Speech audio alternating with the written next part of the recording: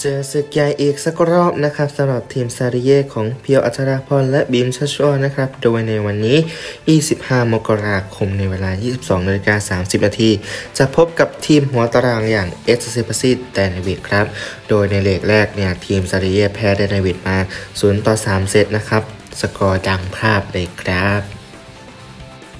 และแน่นอนว่าในนัดนั้นนะครับสำหรับซาริเย่บีมบีมชัชชุอรก็เป็นคนที่ทำคะแนนสูงสุดให้กับทีมครับ โดยในนั้นก็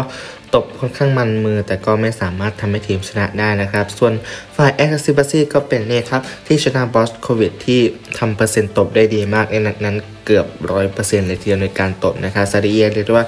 ขุดบอลตบของบอสโควิชไม่ได้เลยทีเดียวครับ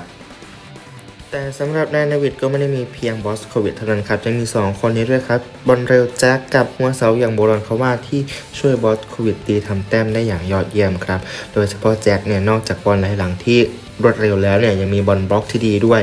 ส่วนทางฝั่งบอลรอนเขาว่าก็สามารถเป็นตัวที่คุมบอลแรกของทีม แล้วก็เป็นตัวสมดุลที่ตีบอลบุกเปลี่ยนในบางหน้าที่บอสโควิดตีไม่ได้ด้วยครับ เรียกได้ว่าวันนี้ซาดิเย่เจอของจริงเลยครับผม อย่าลืมส่งกำลังใจให้สองสาวเราสามารถเก็บเซตหรือพลิกชนะเอ็กซ์ซีบัซีไดนามิกในนัดนี้ให้ได้ด้วยนะครับ แล้วยังไงก็ขอให้สาวๆยังยืนอยู่อันดับ 7 ของตาราง เพื่อลุ้นเข้าไปเล่นในรอบ 8 ทีมต่อไปนั่นเองครับ